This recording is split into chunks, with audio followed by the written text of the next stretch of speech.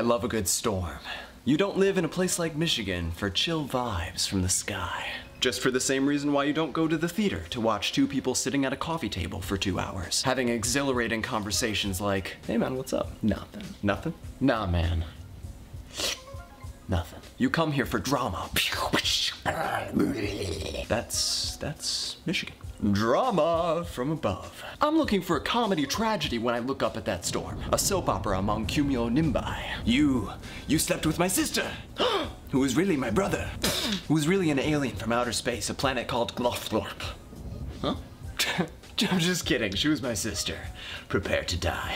And they whip out swords made from electricity and battle it out. And that's lightning. Don't, don't, don't say I never taught you anything.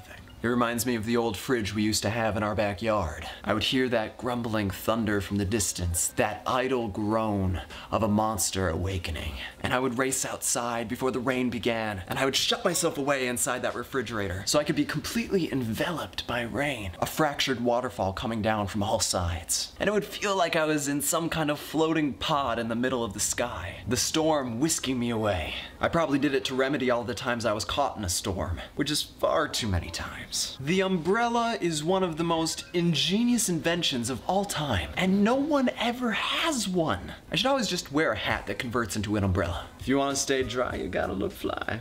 No, that'd be, that'd be kind of weird, but that hasn't stopped me before.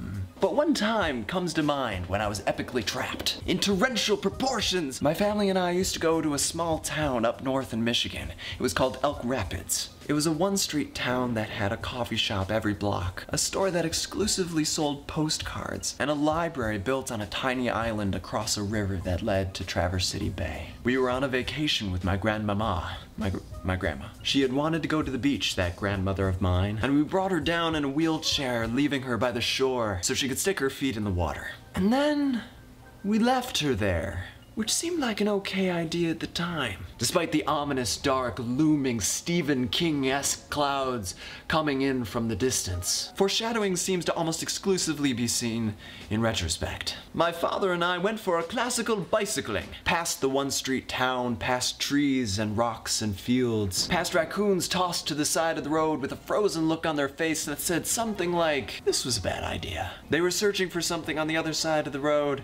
and I wish this was the punchline of a joke, because now this is getting depressing. Why did the raccoon cross the road? I don't know. I. I don't know. We had gotten just far enough out of town for it to be inconvenient when we felt the first of the tippity tap of something that was. what's the word? H2O esque. Moist, fairy fingertips, tickling our cheeks.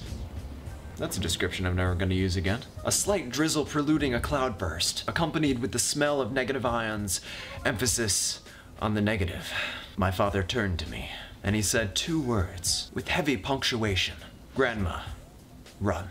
And Olympic style, we Usain bolted it down the road, past the trees and rocks and raccoons, past the one street town where everybody knew each other, the library, the coffee shop, all 11 coffee shops. How much coffee does one town need? It's pouring, it's pouring, it's pouring. We can hardly see. My lenses smeared, the world looking like a Salvador Dali painting. And the streets were flooding. There was like this much water in the ground. but it was pretty equally dispersed, so I think it counts as flooding. And my father jumped off his bike, prancing into the air with the enthusiasm and grace of an energetic gazelle. And I tried to do the same, launching myself into the air, wet sand scattering. And it looked a little something more like, I'm coming. And we finally make it to the shore. And my grandmother was taking selfies. She was taking selfies of her in the storm.